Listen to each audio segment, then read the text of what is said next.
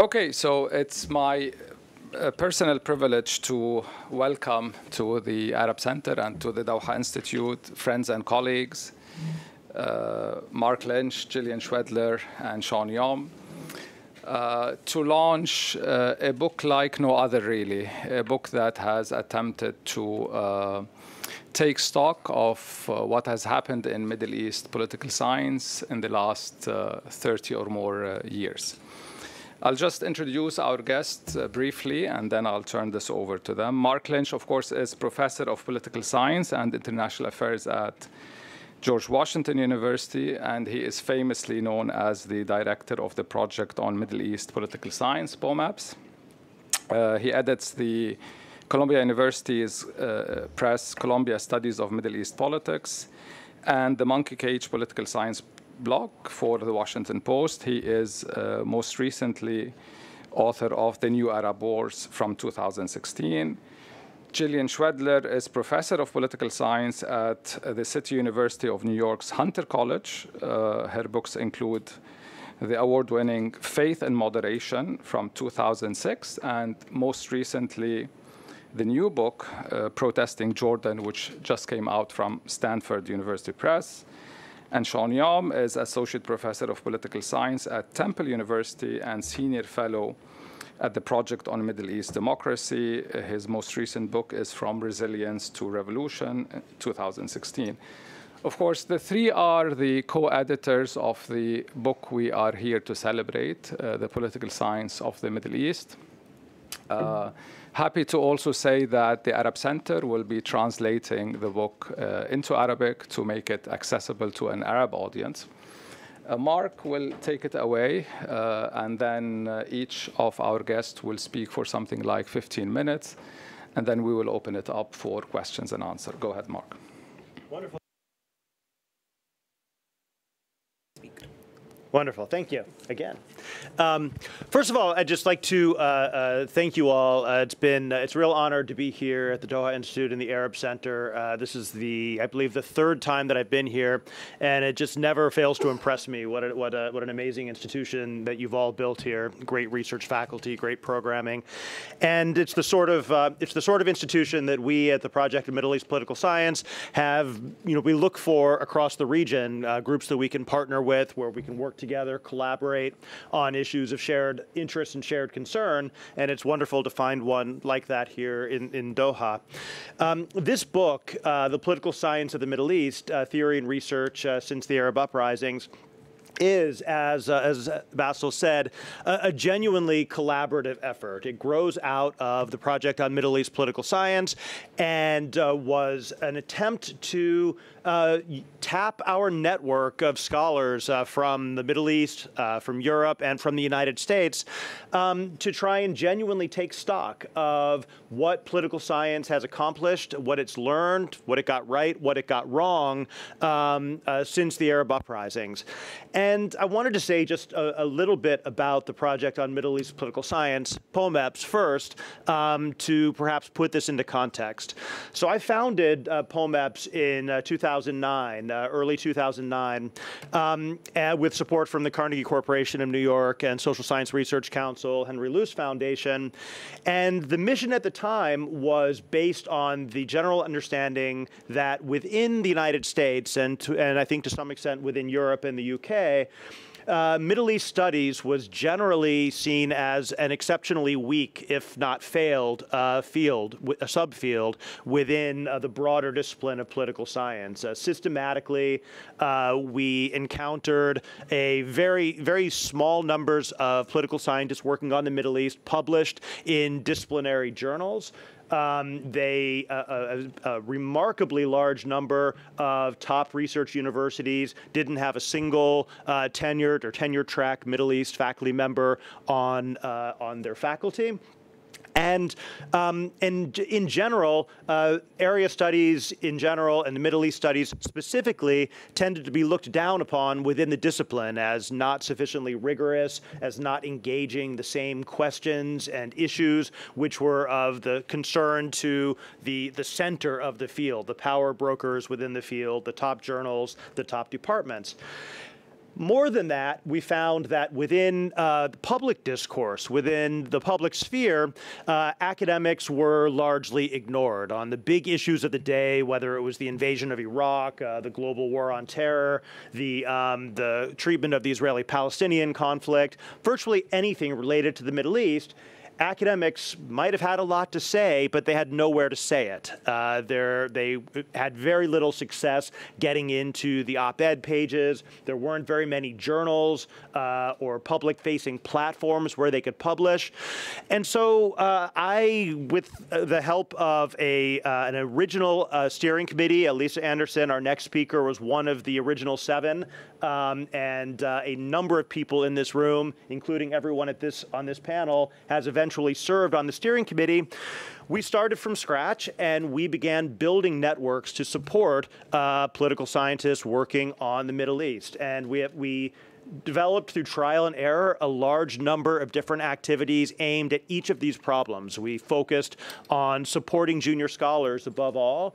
Um, we uh, today, as of now, we do uh, 10 uh, uh book manuscript workshops a year, nearly 40 uh, article workshops a year, all done virtually to uh, to save money, um, but also so that we can so that we can work with people from all over the world. We and we typically uh, we have 10 to 15 out of the 40 uh, uh, articles will be scholars from the Middle East region, based in the Middle East region. Typically, three or four of the book manuscripts will also be.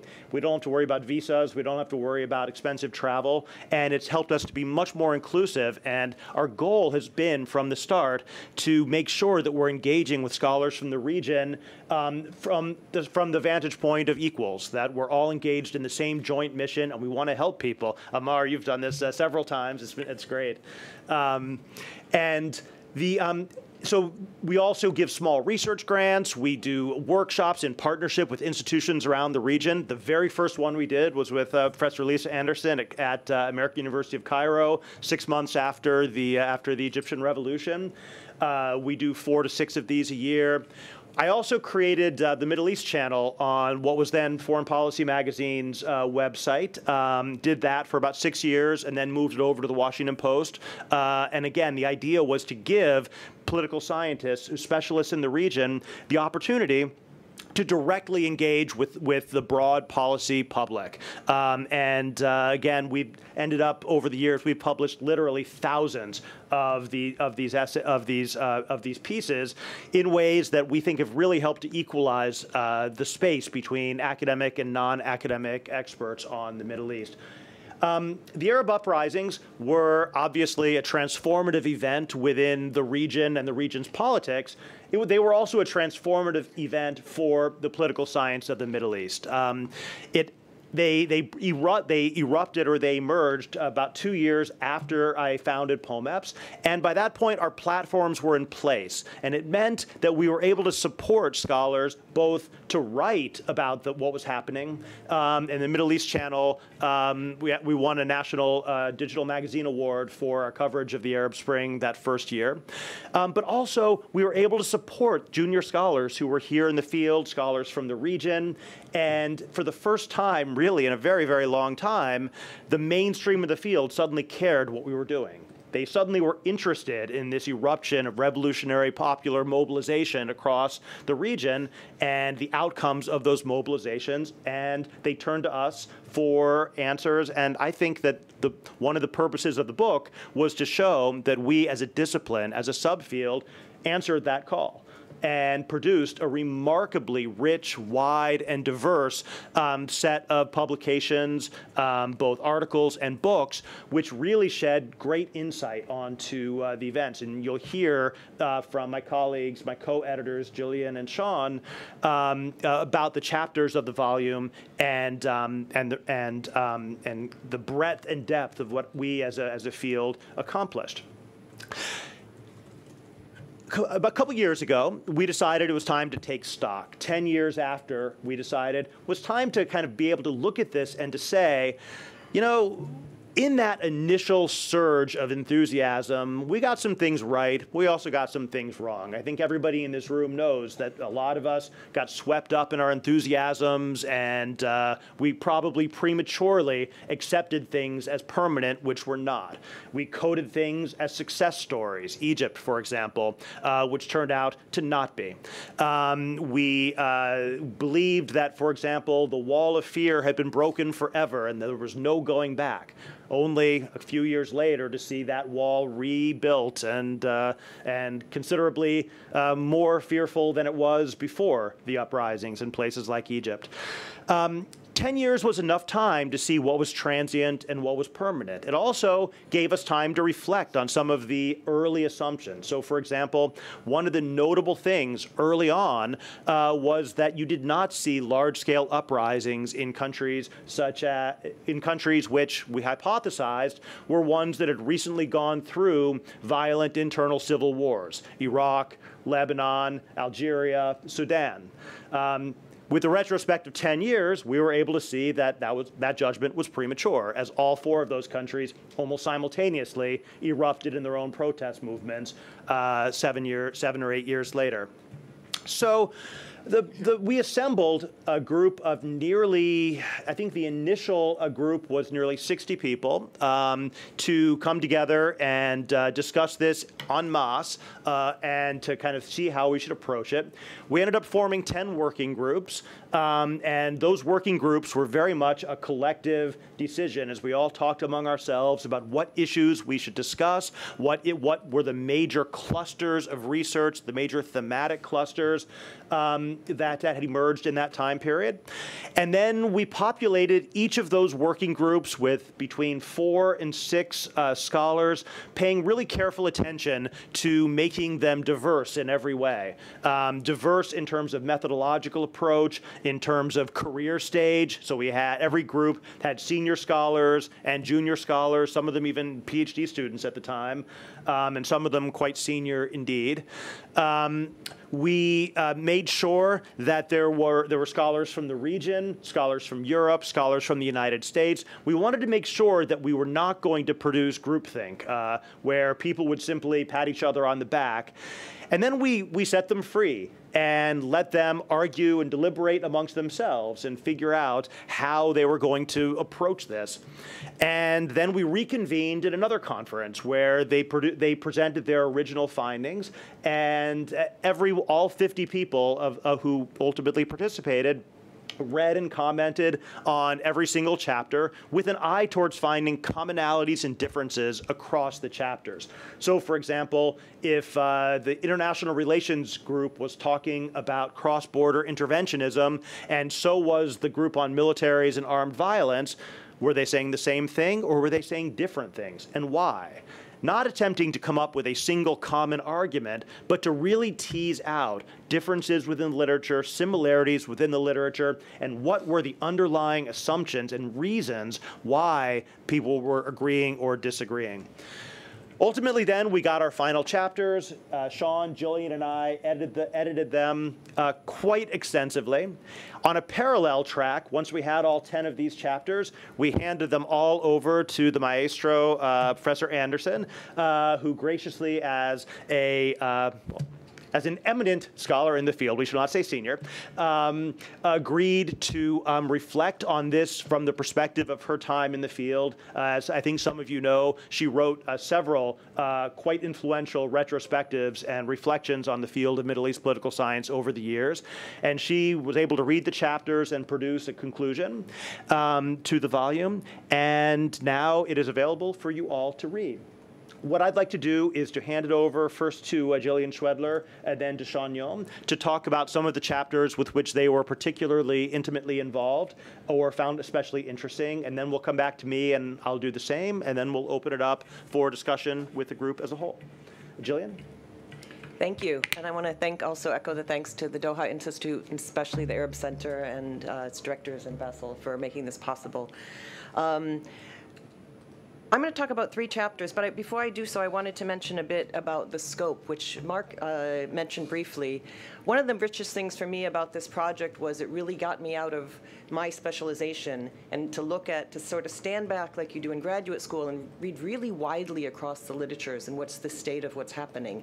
And I got to see a lot of connections and synergies that I hadn't been aware were being developed in these other areas because I was in my own uh, specialization.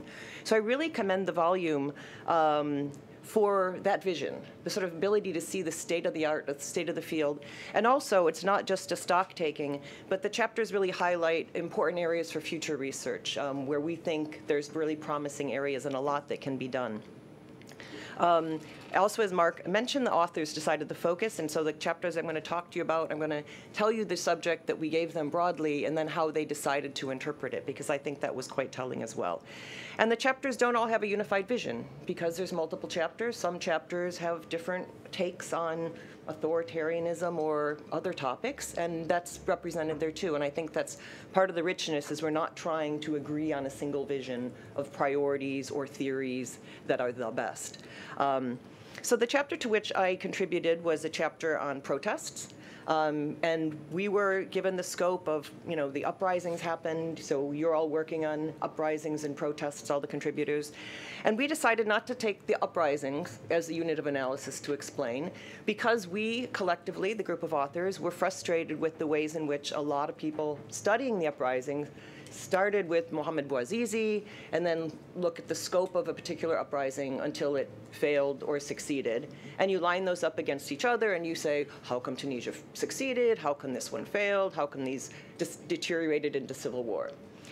Not that that's a bad framework, but it's such a limiting framework and it leaves out so much. It leaves out a lot of things that happened beforehand existing patterns of protest and resistance that continued but escalated during the uprising period, um, the ways in which activists were continuing to protest long after some analysts were saying these are failed revolutions, while there's still, for example, hundreds and thousands of Egyptians on the street. So we wanted to sort of get away from that framework, and we chose the, the theme of protests. Um, in that regard. And we focused on uh, the fact you had this major wave of protests that attracted attention in the uprisings, uh, they never really stopped, and then you had a second wave in 2019 and ongoing. Uh, and so we take stock, which I'm not going to summarize, but we took stock of the existing theories uh, in contentious politics, in the field of social movements, and in the field of protest studies, which overlap but they're different literatures. They're not identical literatures. Um, and uh, we really, as I said, we wanted to push against this success failure priority in a lot of the literature where you, you take the different uprisings and you stick them in a column and you decide, you know, how come only Tunisia succeeded. Uh, so we wanted to push against that. We wanted to push against the sort of seeing cases as compartmentalized as these sort of standalone units et cetera. And so we uh, came up with three main areas after surveying the literature. So there's a really rich literature review. Um, all of the chapters have really rich literature reviews, so it's a great go-to starting place on a topic to see those citations to give you places to start. So we focused on three areas of innovation. Um, one was the role of routine protests or non-big event protests. There's protests across the region all the time. They might be small, they might be to do with labor, they might to do with women's rights, to do with uh, how come I don't have water in my neighborhood? Why isn't there a cell phone tower in northern Jordan, et cetera? And so there's all kinds of protests that take place, and so we wanted to bring the sort of small event protests into view and see what they tell us.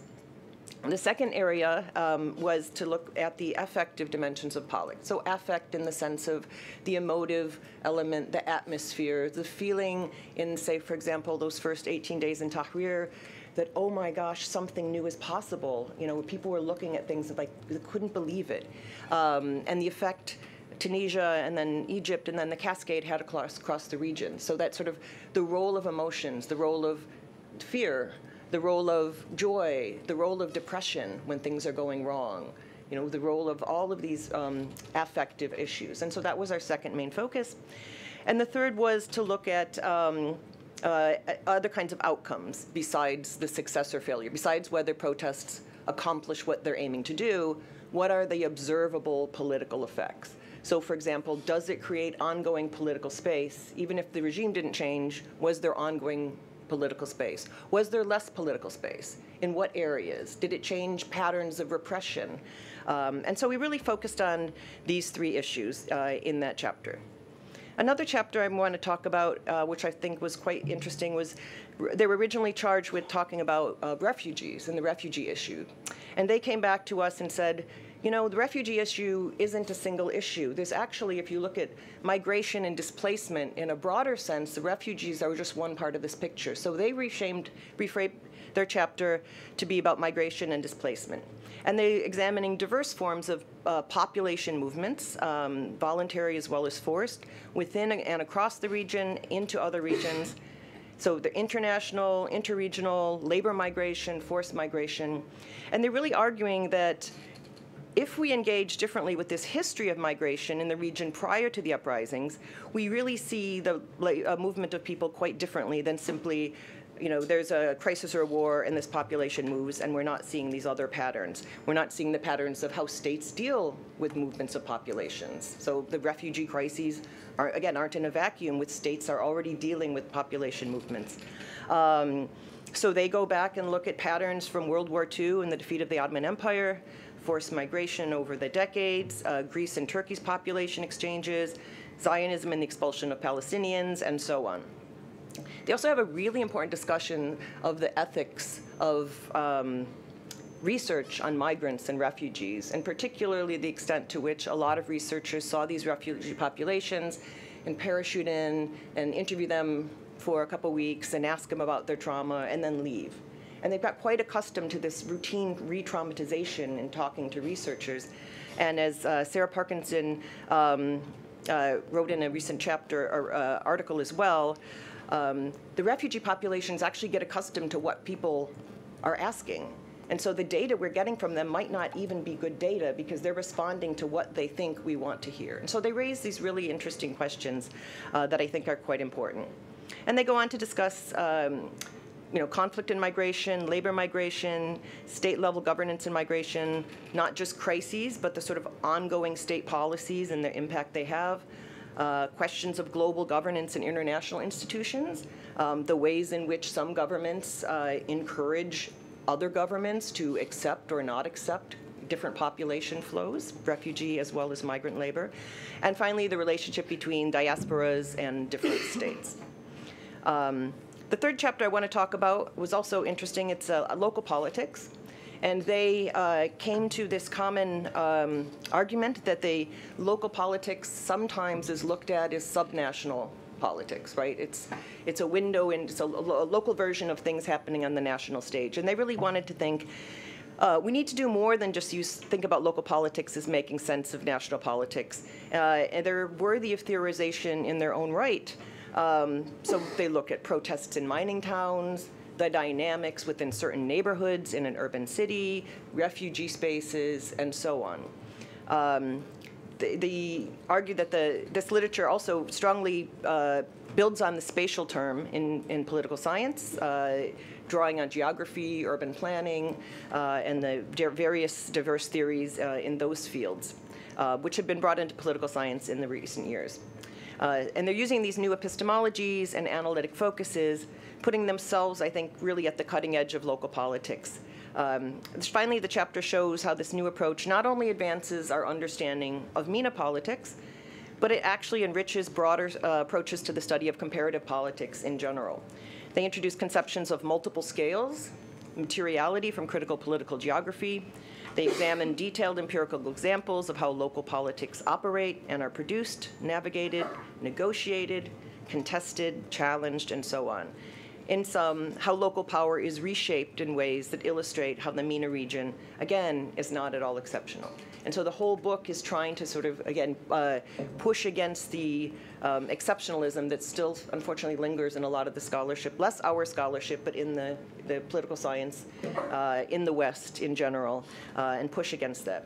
And so the last thing I just want to emphasize that Marc, uh, I think, mentioned briefly, but I think it's worth um, uh, reiterating is that this effort through POMEPS and the APSA MENA, American Political Science Association, MENA workshops have been to engage with scholars in the region, to not just bring them in and network them and find what resources they need, but also to let them generate, you know, theories and approaches so it's not all coming from the West. And really, these chapters all have scholars from the region for that particular purpose, to make sure those voices aren't just heard, but are at the center of directing agenda, research agendas and suggesting what, where we should be pushing forward. And I think that's a quite important contribution uh, of, of the volume.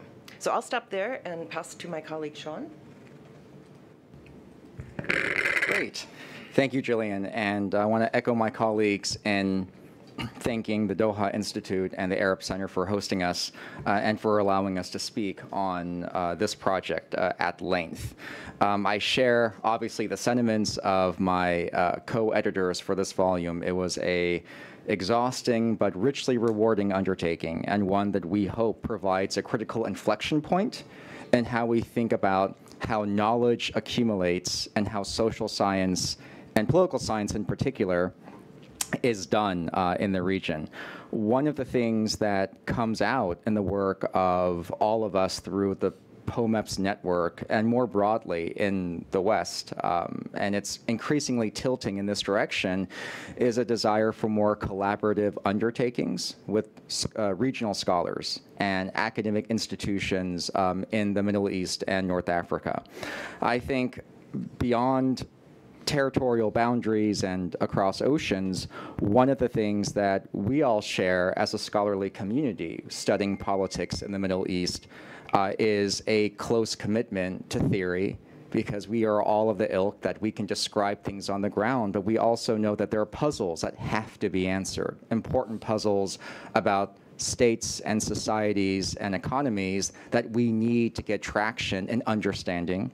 We have a close commitment to the regional context because there is a living human terrain upon which politics and economics transpire in the modern world. It's not jumbled bits of data just rationally organizing themselves and we have a close commitment uh, to our methods, to understand, to collecting data and information and understanding how it all fits together to explain the theoretical puzzles we see on the ground in close context with the communities and the populations that we are trying to engage in real time.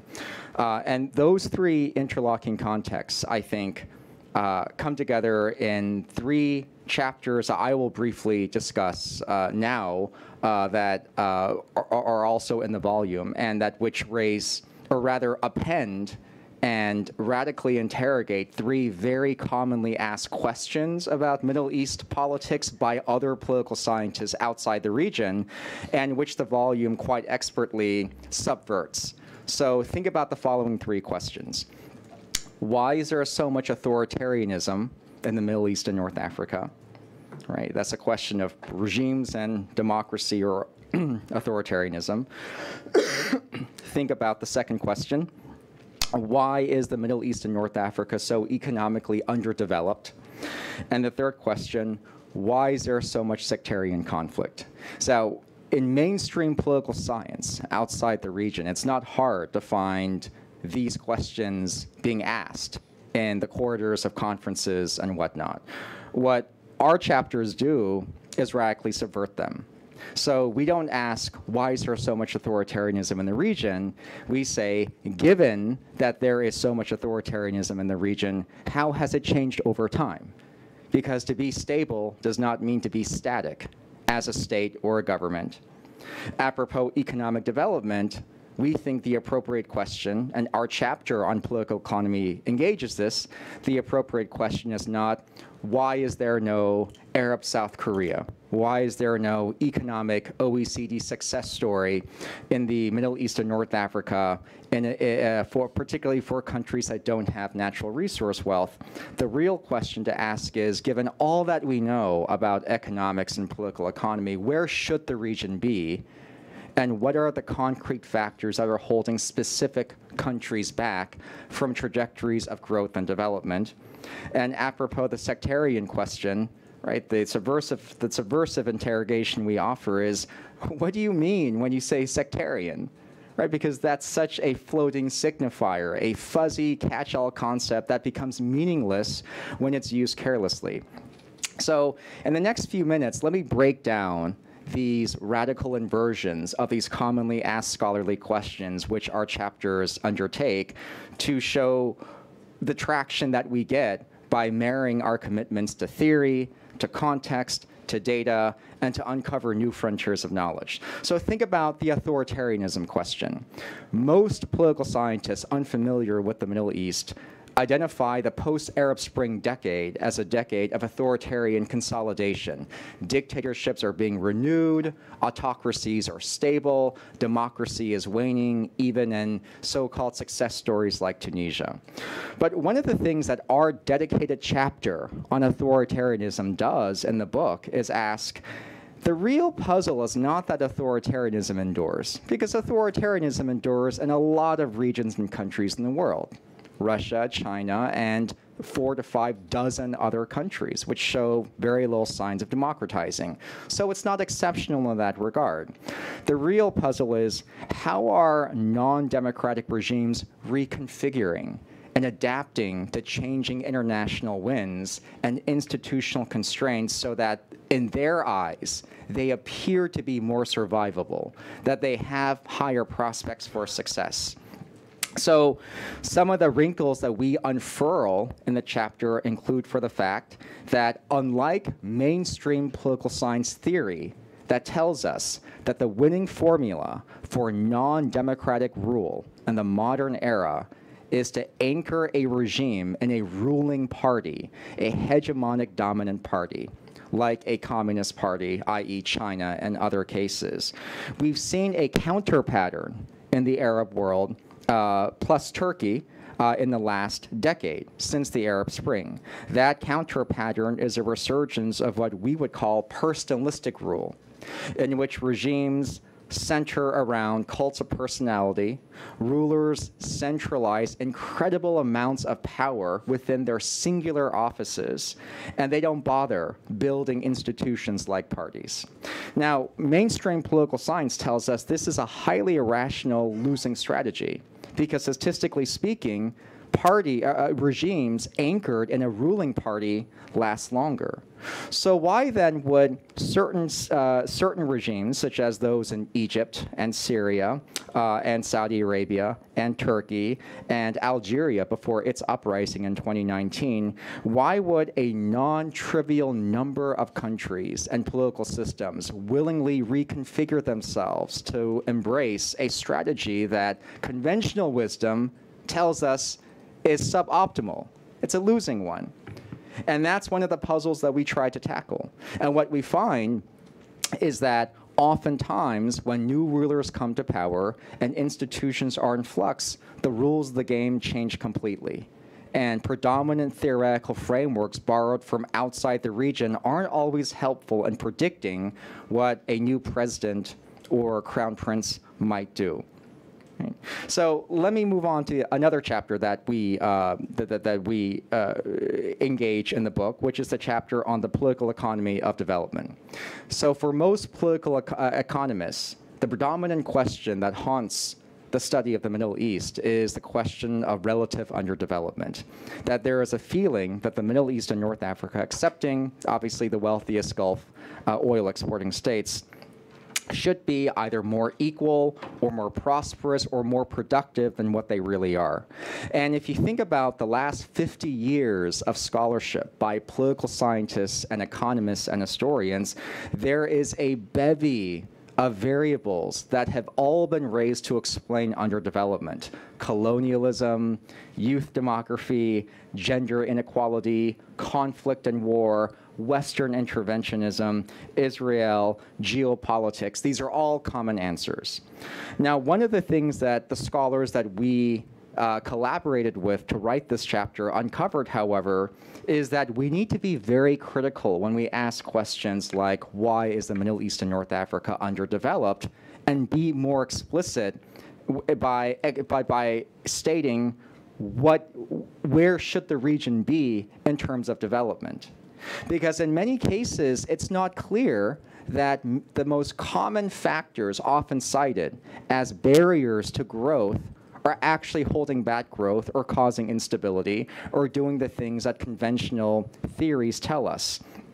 So, as one example, think about neoliberalism. For neoliberalism, obviously, has gotten a very bad uh, reputation because with the onset of neoliberal policies in much of the Middle East and North Africa since the 1990s, social spending has diminished, poverty um, perhaps not extreme poverty, as our colleague Steve Heydemann told us in his public lecture yesterday, but marginal poverty has increased, and in general, welfare safety nets everywhere are declining. But as some of our scholars in this chapter ask, is neoliberalism really antithetical to economic growth in every context? They point to, for instance, cases like in Latin America, where there are countries which have combined neoliberal adjustments with sustained economic growth. They also point out that the losers, in many cases, not all, but in many cases of neoliberal economics, such as workers and peasants, were actually not on the front lines of most of the Arab uprisings. So, where do we find them? And that's their point to understand fully how certain barriers that we take for granted hold back underdevelopment, we need to be clear on what development means and the relationship between those theories and ordinary voices on the ground. And the last thing that I'd like to discuss, the, the third chapter that uh, that that uh, that that another a third chapter that comes in the book is a chapter, uh, a very didactic, important chapter on sectarian conflict, which uh, our colleague here, Bassel, also was one of the co-contributors. And this is one of my favorite chapters because one of the things that this chapter takes to task is this incessant notion among not just Western social science but even among a good number of voices from the region, to think about sectarianism and the term sect or sectarian, right, ta'ifi, as a fixed, unchanging, essential notion or unit of analysis. Because as Bassel and his colleagues all tell us, that is clearly not the case. It's a fuzzy term, it can be instrumentalized, and before calling a conflict or institution as sectarian, we need to know the context by which that term is being manipulated. So, for instance, why, when the Egyptian or Bahraini government use the term sectarian, is that a bad thing? But conversely, sectarian means something very different it's a productive term in Lebanese politics. Why, in 1962, would the government of Saudi Arabia support a Zaydi Shia monarchy in the Mutawakkil kingdom of North Yemen, saying that this monarchy is brethren with the Saudi monarchy in 62?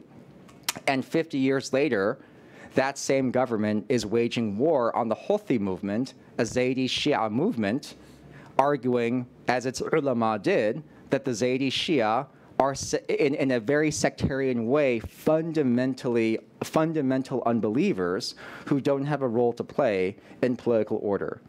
How in 50 years do concepts like sect and difference in identity change? One of the things that our colleagues tell us in this chapter is that we need to go deeper than, than the level of abstract conceptualization. At the micro level, we need to know when ordinary people value certain parts of their identity more than others. When does an ordinary person value religion or community or tribe more than other relative components of their identity? And at the macro level, when do we see resources and institutions and conflicts erupt not over perceived differences, but over the constructions of those differences to amplify pre-existing uh, grievances or pre-existing um, pre-existing dissonances between people.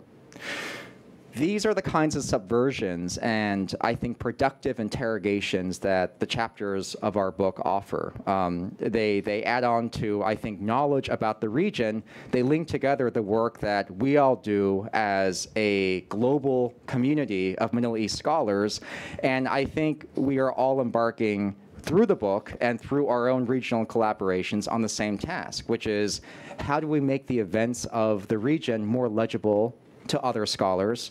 And as scholars ourselves, how do we explain them more precisely in ways that are loyal to uh, the data and the context we see, but also rigorous in the ideas that we invoke. And we hope that the book uh, provides a small step in the right direction. Thank you. Great, thank you, Sean. Um, so let me uh, very briefly talk about um, uh, four uh, the other four chapters in the volume. But first, I just wanted to say that you know I, ho- I, hope, as I hope is clear from the summaries that you've heard from Jillian and from Sean, these are not simply these chapters are not simply meant to summarize and contain everything that's been published on these topics. They're quite selective in terms of trying to provide what would ideally be a great um, a way for graduate students to prepare for their comprehensive exams. Um, so that, that's one thing we're hoping they'll be able to do, but also to approach them in ways that are largely symmetrical across the chapters. So, for example, all of the chapters um, are in some way looking at how history matters, uh, looking at kind of the longue durée and placing the events since the Arab uprisings within that longer context. All of the chapters de-exceptionalize the region. They all uh, engage in cross-regional comparisons, looking for ways in which you see either common uh, or divergent paths between the Middle East and other regions of the world. Um, uh, all of them uh, or uh, not, not all of them, most of them uh, engage in some way with core questions that are cross-cutting themes that we decided not to have chapters of their own. For example, gender uh, or the role of media and political communications, which affect virtually all of these thematic clusters that we've talked about. Um, and so the chapters that I'll talk about, uh, the first of them is on international relations. And um, here I'll just mention that there's a, a number of ways that we, that this chapter approached international relations. Uh, the first is from a quite classic approach, which would be to look at the changes in global system, the real or perceived decline of U.S. hegemony, the rise of a more multipolar international system, and the effects that that has on uh, the patterning and the dynamics of a region which has been largely built around American primacy uh, since at least 1990.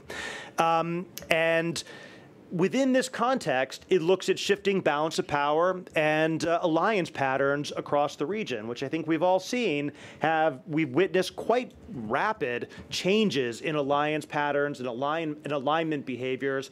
Uh, everything from the rise of, for example, the Emirati Saudi axis um, and their interventionism across the region, uh, Qatar and Turkey and their interventionism across the region, playing out across multiple contexts in ways which we really never saw before. Um, this changes norms of political behavior and international behavior practices um, on the ground in outcomes in places across the region, both the wars and the non-war zones, um, changing the outcomes and shaping the outcomes of wars in Yemen and Libya, Syria, um, but also changing the course of transitions in Egypt, in Tunisia, in Bahrain, and others to the degree that uh, the chapter concludes that it is virtually impossible to tell any domestic politics story without having an international dimension to it. International relations is everything. Um, but in this case, it's only one of the things. And what we wanted to do was to not, in this chapter, was not to assert the primacy of the international, but to always question the connections in both directions between the international and the domestic. Uh, instead of comparative politics, where you have a series of cases that you compare to one another, placing all of the cases within a unified political field in which patterns of intervention and political norms have changed dramatically in a very short time. Um, this includes the diffusion of protests. The Arab Spring itself was a clear example of the outward diffusion of protest from the domestic to the international. The response to the Arab uprisings was a pattern of cooperation among autocrats in many cases as they found ways to cooperate to prevent the diffusion of protest moves from the outside in. And so what the chapter really tries to do is to summarize what we've learned about these changing patterns of connections between the international and the domestic. That connects nicely to another chapter on militaries and armed violence. Um, and uh, uh and uh, not, well, of armed groups and the use of violence. I'm sorry, uh, armed violence seems a bit redundant. Um, so this chapter took an interesting approach. We asked them to talk about civil wars, and they came back and said, no, that doesn't capture what's really happening in the region, because what's most interesting from their perspective was the ways in which the lines between state sanctioned violence and insurgent and rebel violence have blurred. Many states across the region, their use of violence is increasingly in, involving non state actors. Think of the Syrian regime and its reliance on, uh, on the IRGC, on Hezbollah, on Shia militias, um, on its own loyalist militias. And then on the other side, um, non state actors frequently increasingly rely upon direct or indirect support from state actors. Think about the arming of the Syrian opposition, of the Libyan armed groups. Um, so they, they argued that the distinction between state and non state had broken down. The use of violence had become a pervasive weapon, which was used in similar and different ways by state and non state actors. Um, within the chapter, they did look at the role of official state militaries, which are obviously important in the outcomes of many of the transitions in terms of whether you saw a military coup or did not see a military coup. Did the militaries defect and join protesters or did they not?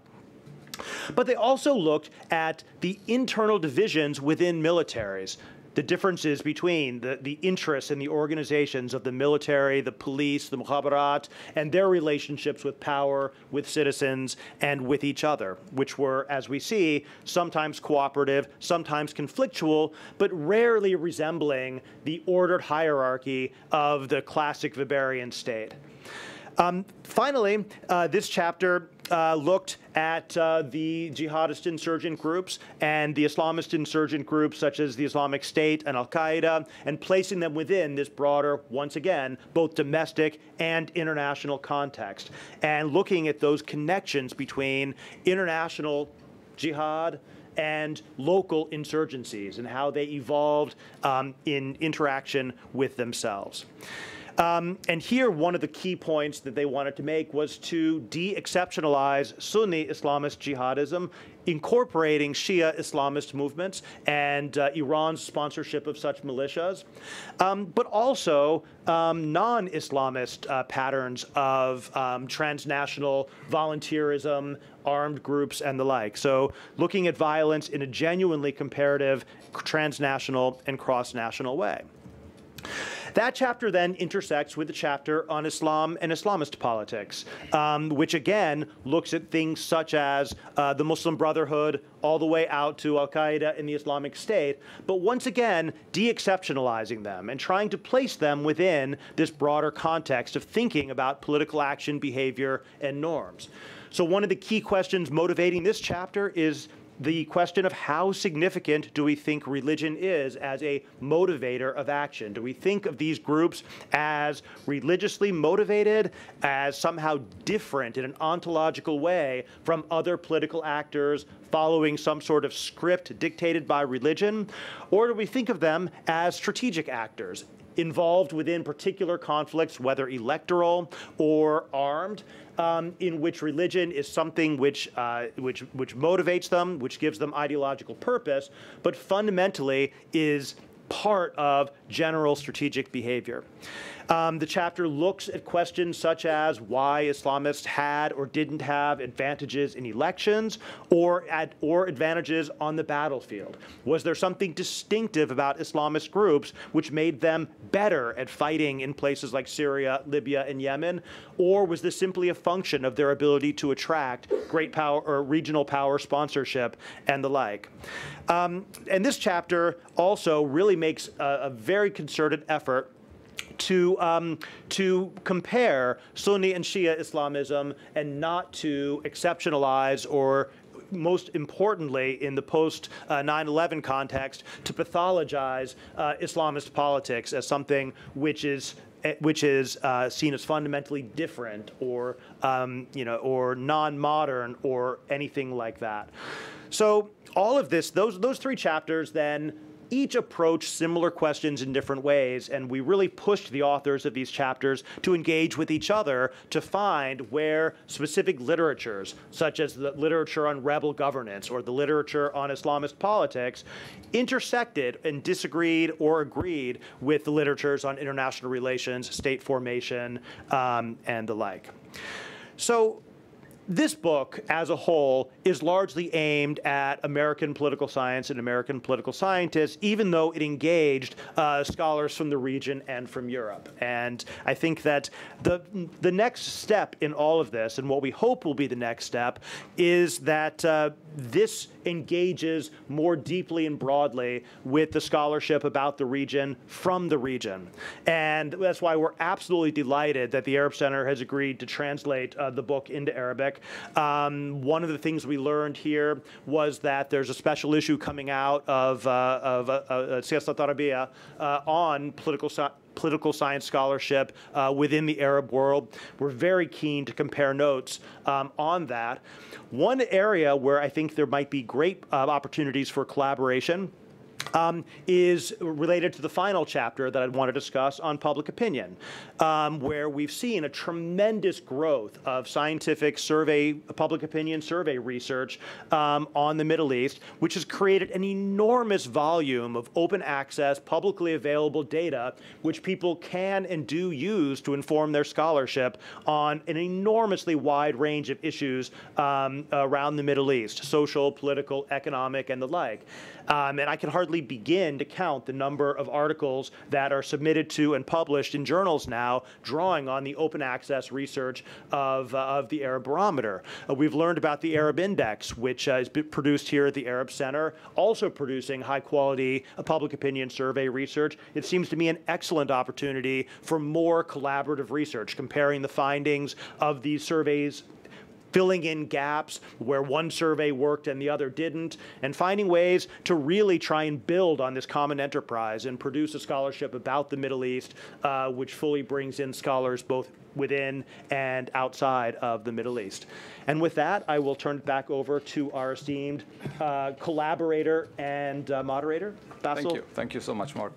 Two things to flag before we open the Q&A, I, I think, about the book. First of all, this intentional effort to make it methodologically diverse. Because we, people who have been working in Middle East politics, have always been known as people who use qualitative methods. But of course, the younger generation and the way the discipline has been moving entails uh, more quantitative. And I think this, this was done fantastically. I mean, even in the chapter on sectarianism, where we showed how much quantitative methods uh, can be useful and productive. The other important thing, and this is really for students, is that throughout the chapters, there is really engagement with theories that are broadly used in, uh, in the discipline in comparative politics and, and IR.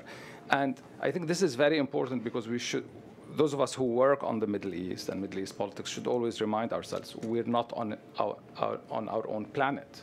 And we need to address bigger debates in, in, in the discipline to be taken uh, to be taken seriously. I have a couple of questions from the social media. I'll start with these, and then we'll open it up for the uh, audience. The first question is, what has happened to politics uh, after the Arab Spring? Uh, uh, this is one of the questions. Uh, the other one, what has happened to the Arab state after the popular uprisings? Uh, so if any one of you would like to address these before we open to the audience. The, the first question is what has happened to politics? In general, yeah. And the second question is what has happened to the Arab state? yeah. Your choice. Those are the easiest questions I've ever heard about the Middle East. I mean, give me, give us something hard. well, I'll just say two things. I think politics is as complicated as ever, but if there's one trend that we know about is that as, as Marc mentioned earlier, the, the boundary between domestic and international politics in many cases has dissolved to the point of being non-existent. So when we think about say, politics in Iraq or politics in Lebanon or politics even in Jordan and politics in much of the Gulf, uh, politics in Sudan. it's not really the politics, for instance, of Sudan. It's politics in Sudan as being driven by both Sudanese and non-Sudanese actors and vectors and currents and movements. Um, I think that would be a fruitful optic to consider uh, when thinking about how politics fundamentally has changed in ways over the last generation and particularly over the last decade. There's always been a permeability of national boundaries between domestic and the international. I think what's changed is that now we see it. And with the advent of digital technologies and instant communication and the and, and more profuse flows of money and capital, I think that those kinds of outside-in influences become a lot easier to see. Um, and I think that's one thing that we should keep in mind, that there are very few domestic politics anymore that are ever truly domestic. And in some cases, maybe the best starting point to think about politics is actually the, is at the regional level and then boring into the domestic. Um, Jillian, why don't you tell us about the Arab state? um, well, I, that, that was actually going to be my point. Hmm. Um, so I echo that, that I think that's one of the takeaways from the volume uh, in all the chapters is exactly that, that, that we can't just look at these states as standalone units and what happens internal to them. We probably never could and should have, but we're pushing in a lot of these literatures uh, against that. Um, on the Arab uprisings, again, you know, the Arab state after the Arab uprisings, uh, yeah, massive question. I think the one thing is, is to not think of um, the uprisings as these isolated moments of rupture followed by these sort of stable periods. And so for me, thinking about the state, uh, uprisings were obviously a, a, serious disruption, but if you look at a longer period, which all the chapters actually, as Marc uh, emphasized, takes this longer historical view, thinking about protests and the uprising over this longer historical view, you see ongoing challenges to the state in from every direction. And so the uprisings are one particularly concentrated period that, of course, is extraordinary and merits thinking on its own. But thinking about the state um, isn't simply you know, was it challenged and did it survive and did it survive in a slightly different form? But the sort of ongoing maneuvering, efforts to silence dissent, efforts to outflank it, uh, and likewise actors, you know, trying to challenge the state, maybe not in street politics, but in, in, other venues. And so I think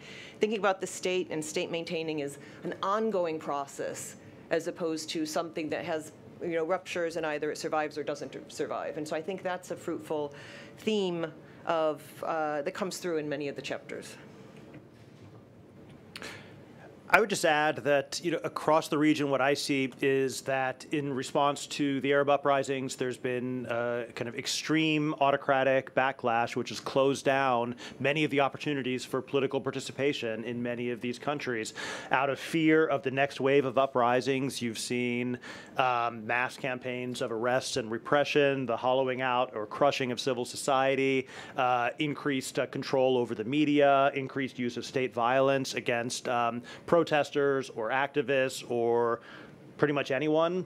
And I think what this has, and this of course has been combined with um, massive increases in deprivation and grievances, so that across much of the region right now, uh, you see situations which, in for at least as it appears to me, uh, are far more politically explosive than they were in 2010, um, in which there are far fewer institutional uh, uh, arrangements by which regimes might be able to contain or diffuse those grievances through elections, through uh, accountability mechanisms, through anything of the like, even letting off steam through allowing editorial op-eds or um, or contained protests is largely off the table now. And so, I, so when you ask what's happened with uh, with politics, um, politics have largely been suppressed, but grievances have escalated. And so, I tend to be quite. Um, uh, well, pessimistic or optimistic, depending on your point of view, um, about what's likely to happen uh, in the coming years.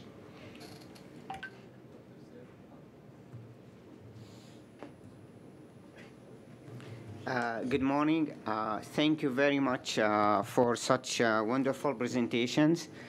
Uh, I have two observations. The first one, it looks that the most of the chapters based on, as Dr. Bassel mentioned, variety of methodologies.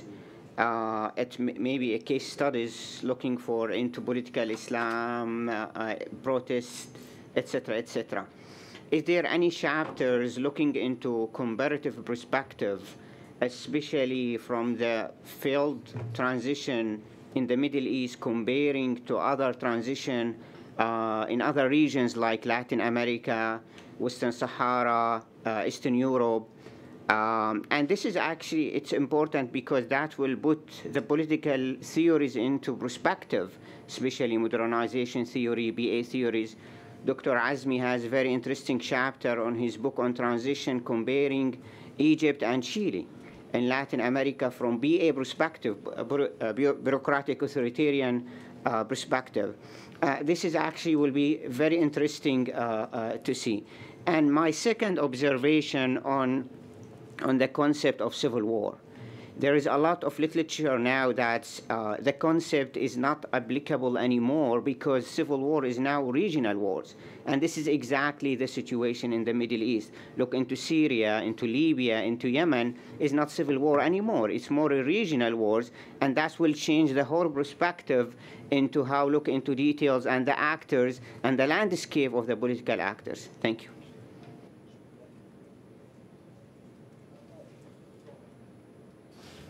Uh, thank you, Radwan. Uh, those are those are great observations, and I, I, guess my answer to both questions is yes. Um, I, the chapters very explicitly and intentionally do exactly because you're you're completely right about the importance of cross-regional comparison, and so the, almost every chapter does engage in in those kinds of comparisons because I agree that it's. I, I think that scholars of the Middle East have tended to have tunnel vision and only compare Arab states to other Arab states, and we really pushed our authors to uh, not do that and to and to look at cross-regional comparisons. And then yes, the the civil wars into regional wars. This is a major theme of both the militaries chapter and the international relations chapter, because you're absolutely right about uh, about what's happened there. It's impossible to really look at these as self-contained wars when there's so many external actors involved in shaping the balance of power, the outcomes, the ideologies, and the like. So uh, so excellent observations. Thank you. I think uh, one thing also to add is uh, this whole issue of the ethics of research, particularly uh, war-torn societies. And I think there is a recognition in the discipline now. Uh, you flagged Sarah's fantastic piece. How do you do research? Uh, there is a lot of research fatigue uh, among constituencies here, but also especially places that have suffered from civil war and refugees and so on. I think the discipline now is much more aware about the ethics of this. Dr. Abdul Wahab. Uh, thank you very much. Uh, thanks for uh, Marc and the panel uh, and the authors for this uh, interesting book, uh, which I'm looking forward to read it very closely. because I think what POMEPS are doing is what we are trying also to do here that's why I'm seriously thinking of a hostile takeover bid. but uh, what I am uh, curious to know is uh, how uh, substantive the rethinking is, because uh, when we have been looking uh, at the literature in the last few years, usually every couple of decades there is a, a retrospective which says we did this and we should do this and we should do this and and that's all they said. nobody shows us in practice how this thing is done uh, or uh, offers models of how uh, it is done. Uh, uh, and so I, uh, well, my, my main point is that I don't think that there should be a, a science, political science of the Middle East. There should be good political science.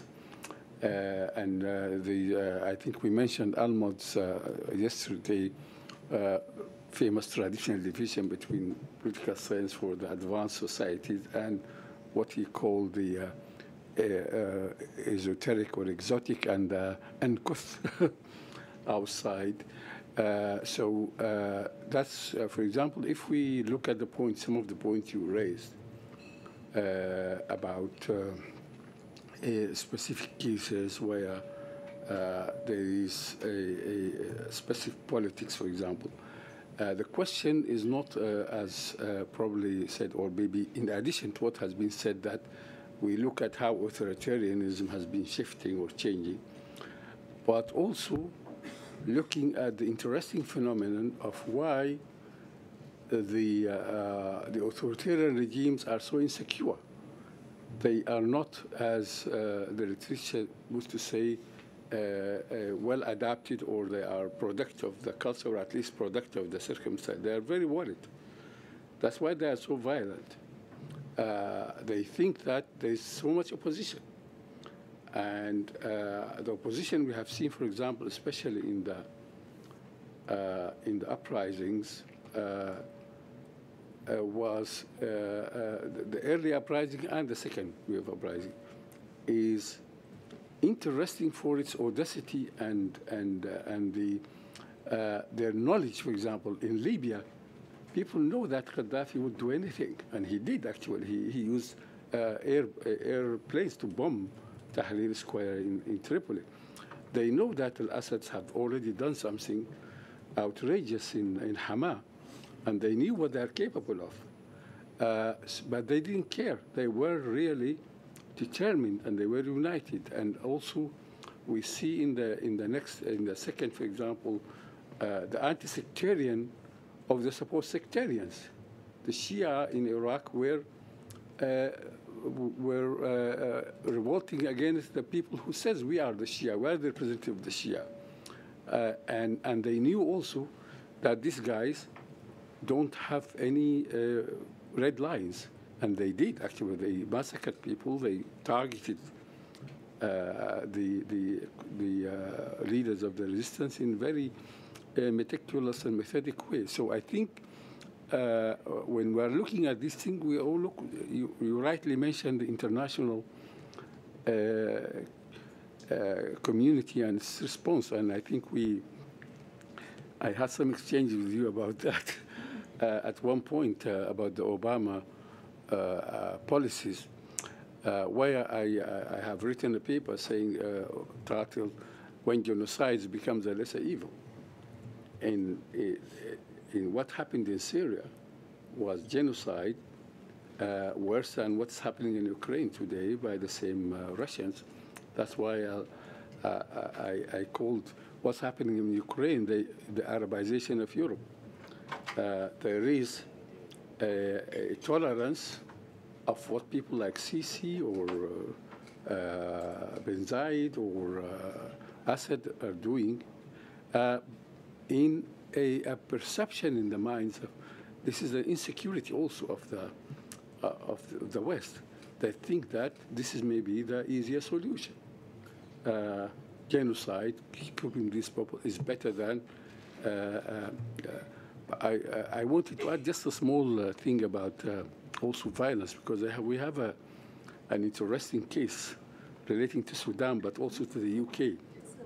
We have a, a, an acquaintance of ours who is, uh, is a communist person who actually leads the Communist Party branch in the UK.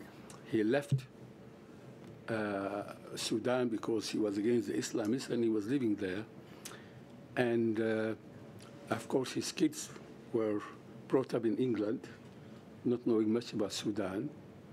And three of them joined ISIS. one of them was killed, and one of them is a notorious guy, the Beatle, who is now in America. Uh, now, how do you, how does our uh, repertoire of, of analysis find this? These are guys. The family was communist uh, they were educated at home in certain ways. They were educated in England, in English schools. They have nothing to do with, some of them don't even uh, speak Arabic well. Uh, how did this happen? I think you have to look. Thank you very much.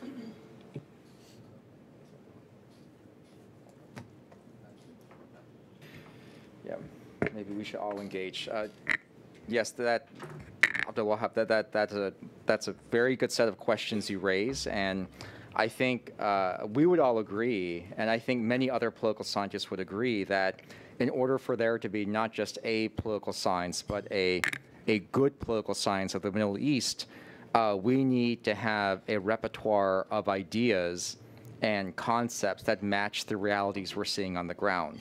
Um, and you raised a very good point about one reality that many of us often take for granted, which is that if you think about the degree of repression and backlash that many regimes and states have expressed towards social forces and civil society over the last 10 years. There's a, there's a nastiness to it that didn't exist before um, that may reflect a heightened degree of uncertainty that these regimes feel, even though structurally speaking, one might think that they would be more secure than ever. I mean, we're in an era where the, uh, the, we're, we're likely entering the twilight of American hegemony. Uh, may perhaps, I don't want to make any lifetime predictions, but for the foreseeable future, it is highly unlikely the U.S. will ever engage in nation building in the Middle East again for the purpose of overthrowing regimes or building democracy. So most regional governments don't face that kind of existential threat. Uh, authoritarianism has been reconfigured since the Arab Spring in ways in which even in Tunisia, we see a severe decline in democratic gains. So that invokes the interesting question, why then would non-democratic rulers feel more insecure now?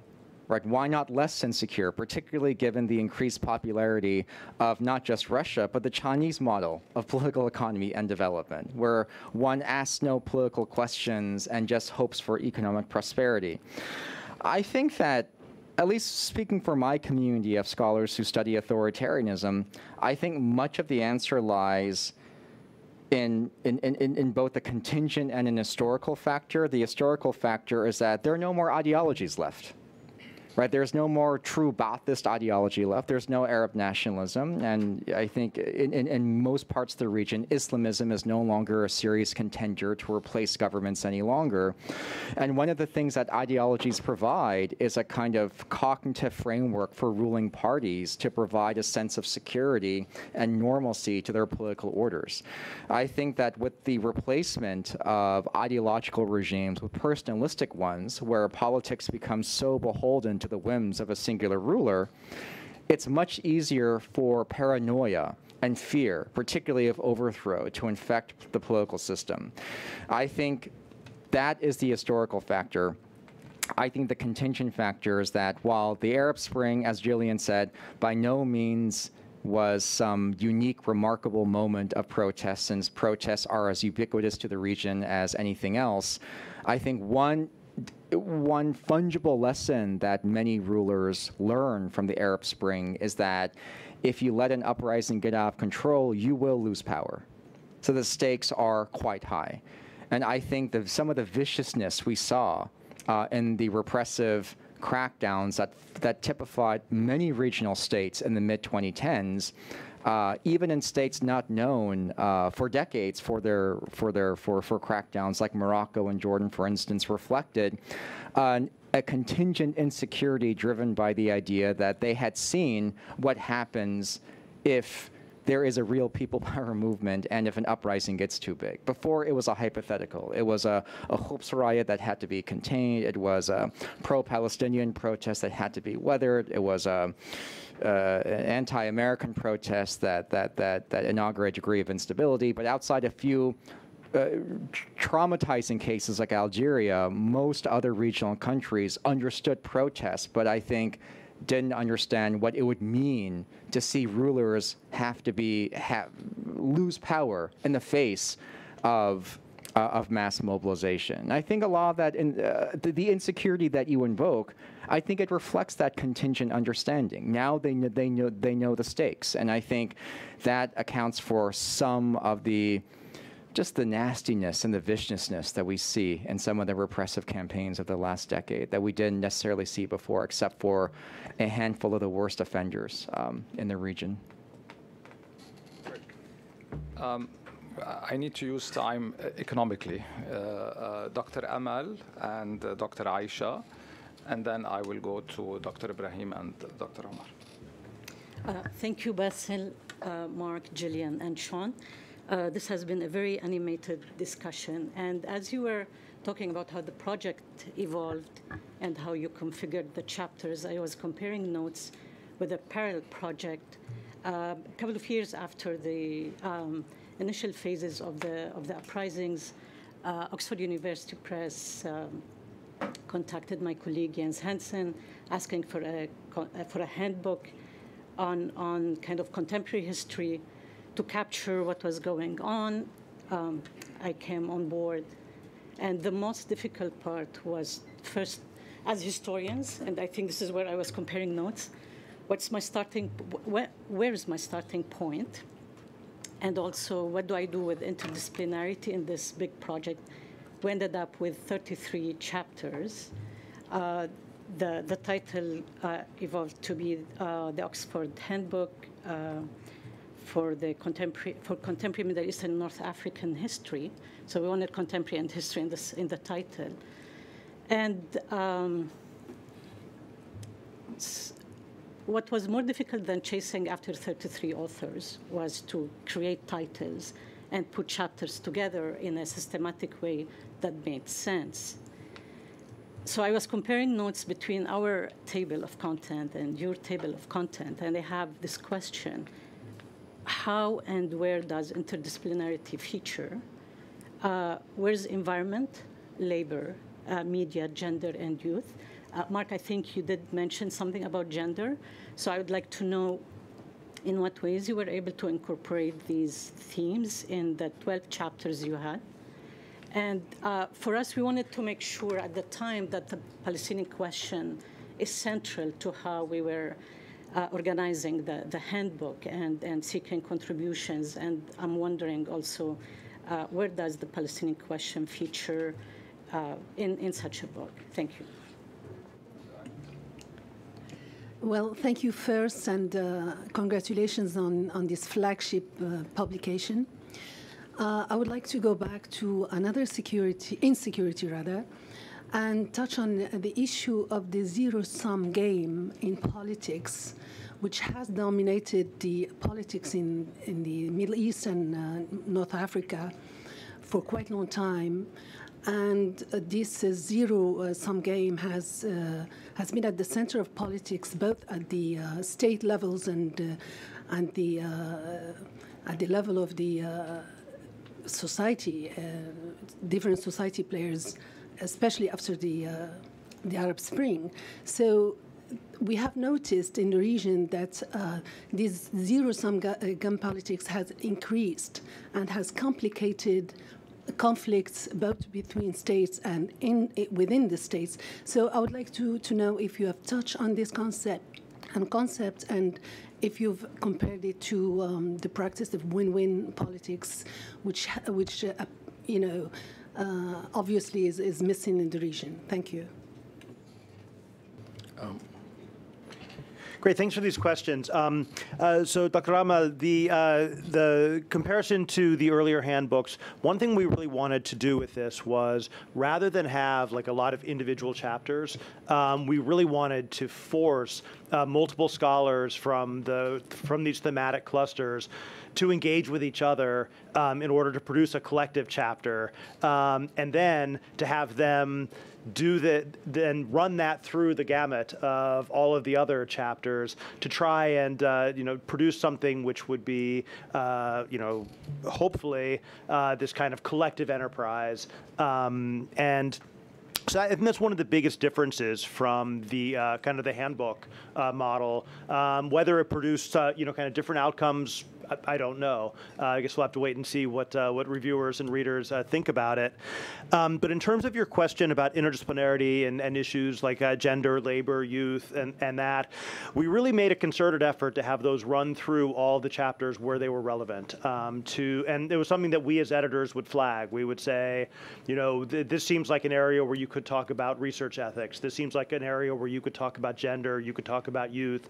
So we didn't want to force it into, into chapters where it didn't seem appropriate or relevant, but I think you'll see when you read it that um, a lot of these cross-cutting thematics, um, and that, that includes also media and political communications and the like, um, we, we re- you'll, you'll see that those run through uh, the chapters as, as best we possibly can.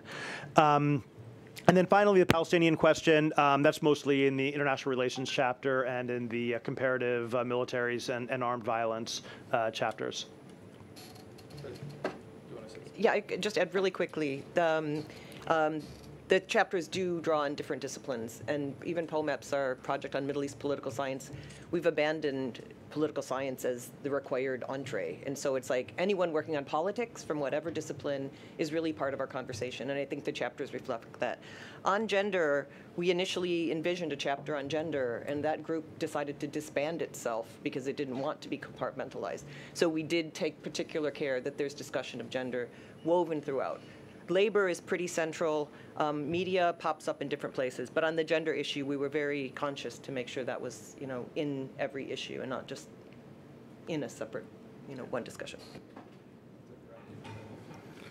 Um, thank you. Um, thank you everyone for uh, all the hard work you put into this. Um, and before I ask my question, actually, uh, a friend is watching online and he sent me this question asking why uh, there uh, not any of the project leaders from the region. Uh, that, for example, the editors are, the region has no voices, for example, in the book design or the outline or any of this. So I thought I should, I should share this with you uh, as it came to me from a friend who's watching online on the, uh, the editors of the book. Now, my question actually is, uh, Amal uh, touched on it, which is, uh, I don't see in the, um, in the book outline the chapters, anything on colonialism, settler colonialism. Uh, I think this is something that, due to its importance in the region and shaping the history of the region, that at least would have would appear in the uh, in the outline, not just being like somewhere in one of the chapters. I mean, because this is like shaped the politics of the region for, for decades. Uh, that I don't see it. And the third thing, which is uh, actually related to my bias to my own field about conflict resolution, I look at the uh, outline. It looks very depressing, honestly. it's about sectarianism and authoritarianism and displacement and like really, really hard, you know, the outline. Where is the resolution? Where is the hope? Where is the, you know, that appears in the outline? I don't see it. Uh, is this the political science of the region? Honestly, no, no mention of settler colonialism or, or anything in the in the outline of the book, and there is no hope, or that it's all like these really hard, harsh words about migration and displacement and authoritarianism and sectarianism and so this is uh, a bit like caught my attention, so I thought I would share with this with you. Thank you.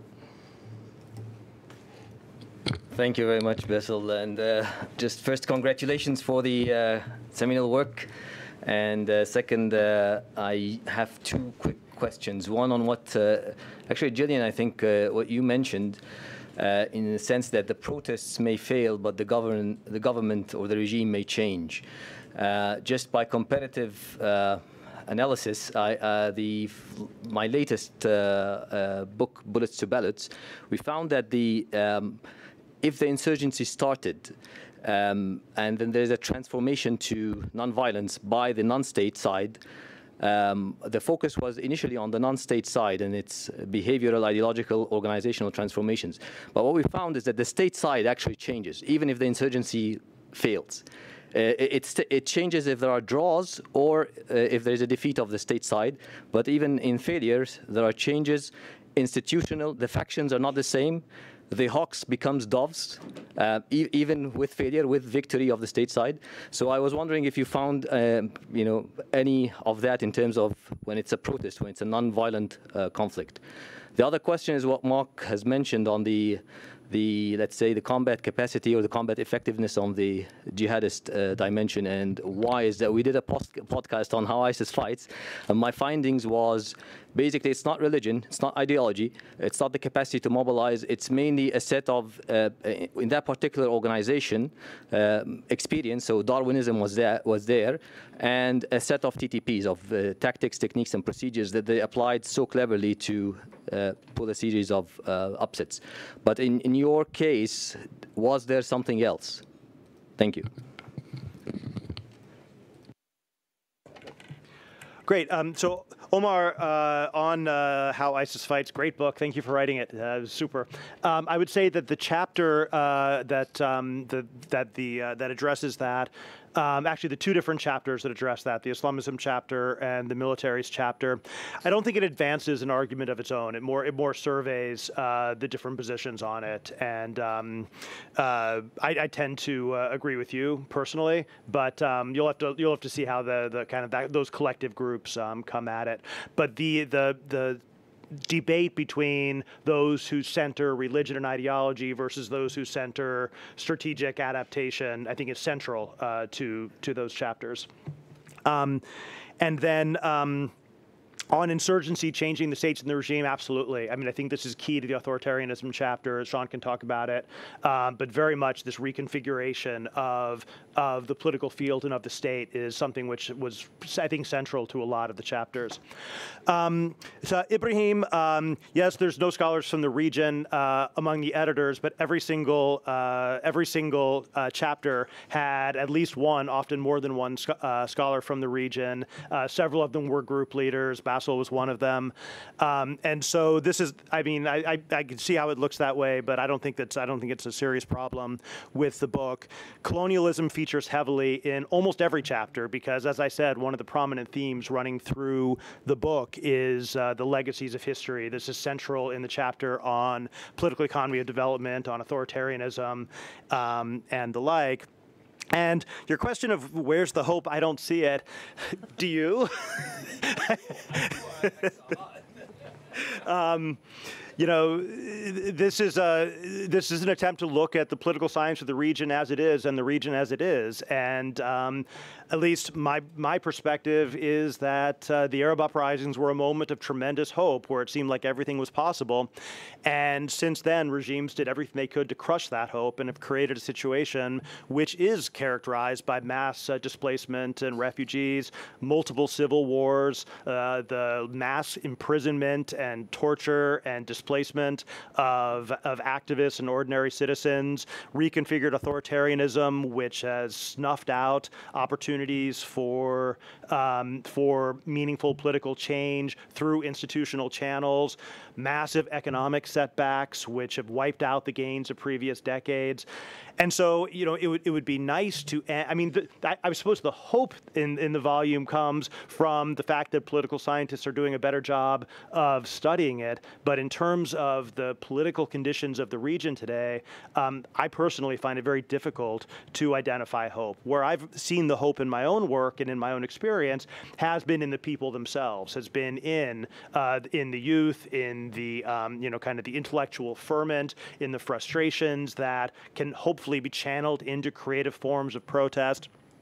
I look at what's happening in Iran right now as very much of a piece with what's happened in Sudan, uh, what's happened in, in across the region, 2011, 2018. I don't see what's happening in Iran as any different. It's driven, I mean, obviously there's local specificities, but it's driven by the same combinations of highly autocratic, repressive government and massive economic um, and uh, and political closure.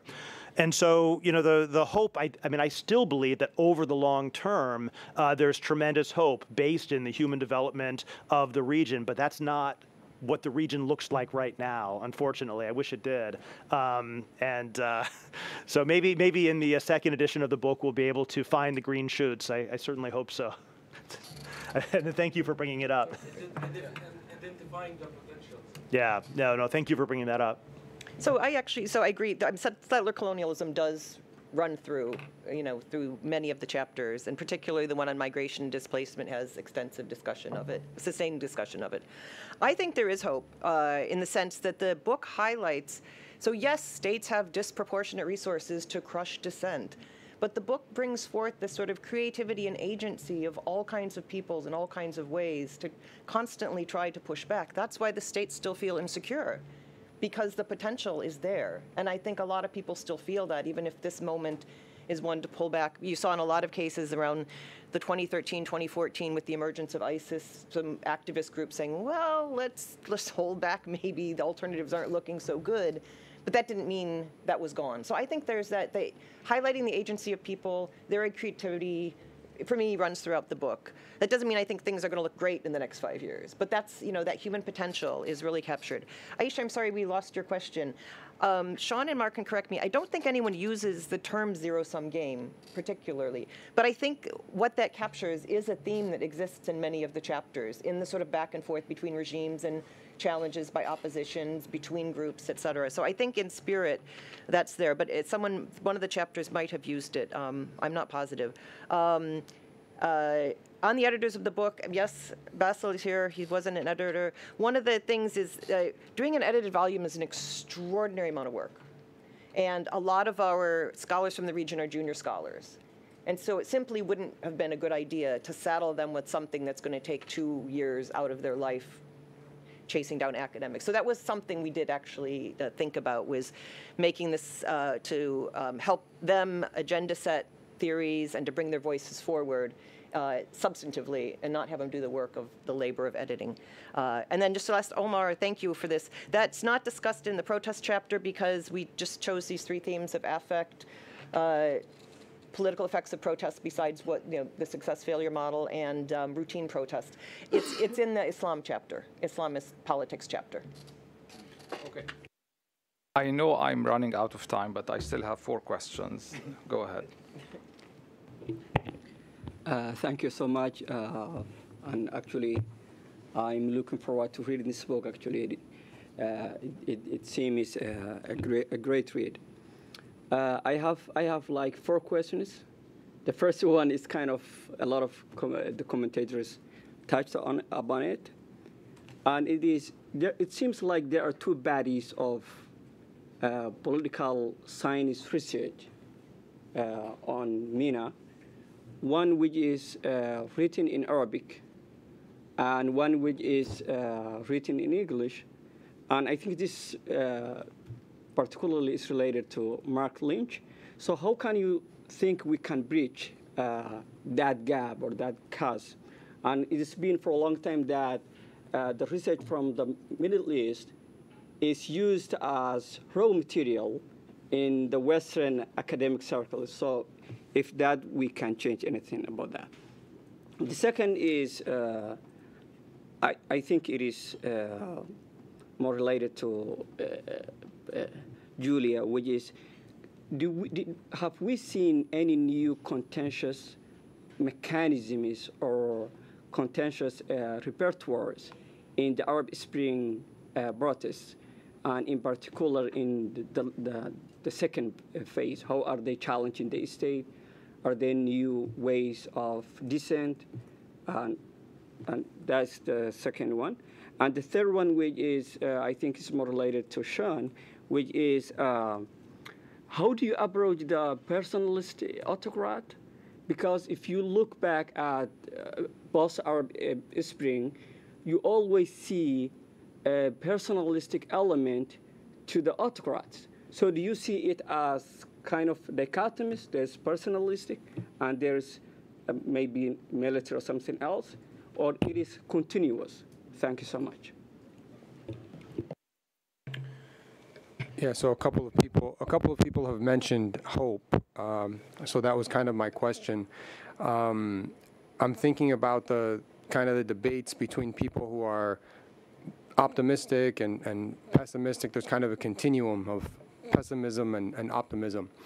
Um, and I'd, I'd like for you guys to comment on that. I know you don't have a crystal ball, what's going to happen in the next five years or 10 years or 20 years.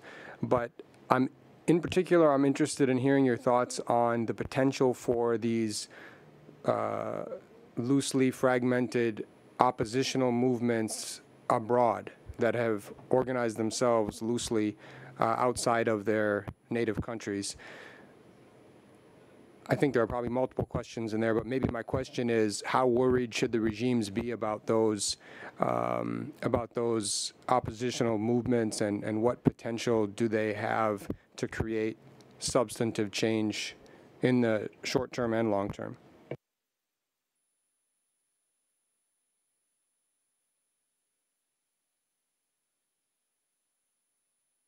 Hello, I, I have two quick questions. The first one, who is the public of your book? This is a just uh, I'm wondering who is the public that you are targeting with this uh, book because I think specifying that maybe cl will clarify many things in your in your in your approach. The second uh, one is more uh, directed to Sean.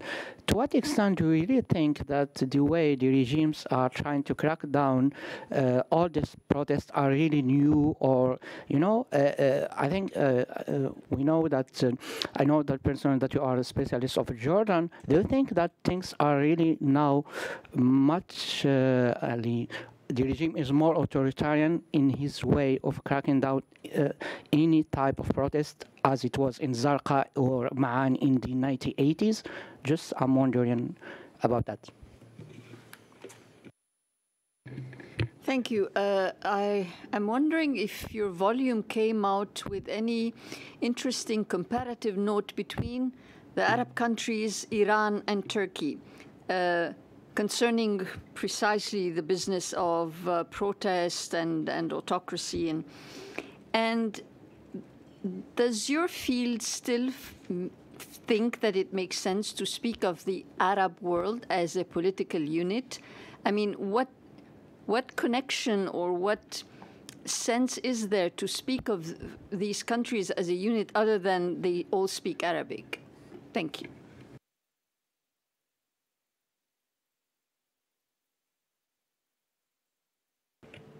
Great, thanks for all these great questions. I'll try to leave some of them for, for Jillian and for Sean. Um, uh, let me see. Uh, so Abdul Karim, who's the public of the book? I would say it's really this is really aimed at an academic audience. This is really aimed at other political scientists, both scholars of the Middle East. But we also really hope that it's read by general political scientists who want to learn what is happening in the Middle East. Um, so absolutely, and this relates back to your question about English, Arabic. I would add French um, literature there, especially on the Maghreb. Um, and and here, you know, it's it's you know your point is a very good one about how often this is used as the way you put it, raw material. But I don't really see it quite like that. I mean, all uh, all intellectual engagement is is in some form. If you're doing political theory, are you using Marx and Hegel as raw material? If I read Dr. Azmi on the state, uh, is that a dialogue with him, or is that me using him as raw material? So, so I, I do. I think that there are many situations like the ones you describe, um, and then there are many that are not. And we're hoping that we're, the, we're that what we're doing doing is of the type where we're fully um, we're fully engaging with scholarship from the region on its own terms, um, not just as material to be used, but as ideas that are being generated from the region that uh, that we test and we incorporate into our into our work and the like. That that's that was what the goal should be. Uh, Lisa Anderson is leading a large project on research ethics in the Middle East, and this is one of the pillars of that project is trying to find ways to ensure that intellectual exchange is, is you know, done between equals, not in an exploitative or uh, kind of extractive mode as you described. But it's, it's I would say that the, the, there's a there's a large problem though, which is that, and this is something that we've been speaking with people here at the at the institute and the Arab Center um, all weekend, which is that for many American political scientists, they're not aware of what is being published in Arabic. Uh, uh, in. I'm not, and here I'm not talking about the commentary in the op-eds and things like that, which I think we all do follow and use as uh, in, in, in, all kinds of ways. I'm talking about the academic journals and that sort of thing, which uh, I think are largely uh, uh, foreign territory. And then, of course, as I said, in the Maghreb, there's a large Francophone literature, which is largely invisible to many of us uh, who are Anglophone American political scientists. So trying to bridge those gaps is, has been a significant challenge, which relates then to your question about Turkey and Iran. Um, and so when POMEPS first began, uh, it was very Arab-centric. Um, and so we've successively tried to branch out and to include Turkish scholars and scholars of Iran. Uh, we do have difficulty dealing with Iranian scholars because of American sanctions, and um, we, we, we, literally cannot send students or, or, or junior faculty to Iran because we're not allowed to pay for it, and that's a real problem. Um, but we've been really, really working to bring Turkish scholars and scholars of Turkey in and uh, where we can engage with the Iranian scholarship as well uh, to the best of our to the best of our ability. And like I said a moment ago, um, the uh, the um, uh, study of what's happening in Iran right now and which happened three years ago and the like, I see as very much, uh, you know, part of the protest chapter, but just part of the story of the Arab Spring. It's a global story. Erdogan in Turkey is a story of global populism and personalization of politics. No different, in my view, in that sense, from Trump or Sisi or uh, uh, Bolsonaro or any of the, you know, this kind of rising trend of these global populist uh, autocrats or would-be autocrats. So I think that we're definitely sensitive to the questions you're raising. Um, the last one that I'll engage and then turn it over to uh, to Jillian, I suppose, um, is this question: Does the Arab world make sense? And here, you know, we've been, um, at least I have been pushing very hard for trans-regional and cross-regional approaches uh, to scholarship. Uh, I actually direct a second project comparable to POMEPS on uh, sub-Saharan Africa, which we, well, not sub-Saharan, it's Africa. It includes North Africa. Trying to do something similar uh, with uh, several other people, and and we constantly push for trans-regional and cross-regional comparisons uh, with Africa and the Middle East, and that's a major theme, at least in the work that I've been doing and pushing towards um, in recent years. I do think that the Arab world makes sense as a concept uh, when you're talking about these, um, you know, what I what I called in the book the New Arab Wars, where you have this interventionism, the diffusion of protests during the initial Arab uprisings, the interventionism within those conflicts by uh, Arab regimes. Um, obviously, Turkey is also involved in that. Iran is also involved in that. But it does seem to me that there is some kind of, at least in 2011, there was some kind of unified Arab space where these things were taking place. But no, I, I, I don't believe in reifying it and uh, and just saying you know there's something unique about these Arab states and they should only be compared to each other. So it's an excellent point. But I'll stop there. Um, Jillian. Yeah, thank you. A lot to talk about. Uh, so very briefly again, yeah, Iran and Turkey do exist throughout the volume. It's not framed as Arab world at all. Um, the protest chapter actually had an Iranian scholar on it who dropped out because he had other commitments, but his ideas are in there and we cite his work extensively. Um, uh, new contentious repertoires in the uprisings. I think the one thing that's significantly different um, is the Arab uprisings were the first period, the first massive protests to take place in the smartphone age. And so the, the role of people uploading uh, videos in real time to YouTube, you know, not just the tweeting and Twitter stuff, but I think up, uploading thing to, things to YouTube, sharing images um, of large gatherings, uh, speaking to international audiences directly. I think it's there's a literature that's emerging significant on social media. Um, so I think that's something that was different in this set of uprises in terms of different contentious repertoires. Um, on the hopes and debates and optimism and pessimism, it, this actually does come up in the protest chapter because we do talk about the role of affect and uh, the, you know, simultaneous hope, like something can change. We saw something can change. It's how do we get there? How do we leverage it? So you have the despair of it seemingly failed, but whole generations that now see there's a possibility that generations before them thought was just impossible. Um, I can't predict, you know, the potential for change, but potential is there for sure. Um, things can change, and they don't have to change just from opposition movements. Regimes could adopt different policies. Um, will they? I, I, can't say, but I, I, think there is tremendous potential for change. I'll stop there. Yeah. yeah, no, because I, I, know at the end of a presentation like this, we're all just throwing darts to hit questions randomly. I just let me hit three questions that haven't been addressed yet. Um, there's always been a streak of personalism that has characterized many autocracies. So one of the things that the authoritarianism chapter does is say personalism is not a dichotomous variable, it's a continuous variable. All regimes have some degree of personalism. The question is how much. And when it becomes so large that it overshadows every other institution, that's when you can begin to say, okay, this is no longer a single party state, this is a regime of Assad, for instance. So that's how that chapter deals with that. Um, there was a question on social media uh, that I was just shown that I want to address. And it's a really interesting question about is there a political economy theory? Does political science give us a theory about grievances, about the economics of grievances and why grievances sparked the uprisings in 2011 and again in 2019? And the, the, the answer is no, but it's because we are still changing our vocabularies. Uh, one of the reasons is that when we think about material grievances and deprivation, we, I think, are still often entrapped in the language of class and I think, as some of our colleagues have written about, we've entered an era of classless politics, which is the title of a great book that a colleague of ours, Hesham Sallam, has just released. Classless politics means that people have grievances, but they're not motivated by a consciousness about what class they belong to. They're driven by the inequality they see.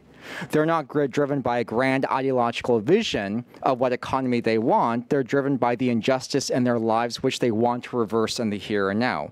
So there's not a political economy of grievance per se. There's a moral economy of dignity. And I think that's where a lot of our theories are trying to understand more fully. And that is a flashpoint of what we know, what we don't know, and how do we get traction. And finally, that's partly, I think, the promise of studying new topics in the field, like the mobilization of opposition abroad. I think that understanding transnational dissent and transnational mobilization among anti-regime opposition simultaneous with studying transnational repression is one of the great uh, uh, untapped frontiers of knowledge that we are all, I think, working on, both in the Middle East and in the West, because we see it happening in real time. And it's something that, if there is a uh, volume two or next edition of the book, that will certainly merit its own chapter. Great. Thank you so much. Uh, thank you, Marc, Jillian, Sean, for your generosity, the Arab Center, the Doha Institute. The whole objective of today was to start a dialogue and to see how we can create synergy between political science of the Middle East and political science from the Middle East. And I think we are off to a great start. Thank you so much, everyone. And we will come back at 12 o'clock for Dr. Lisa Anderson's uh, public lecture. Thank you.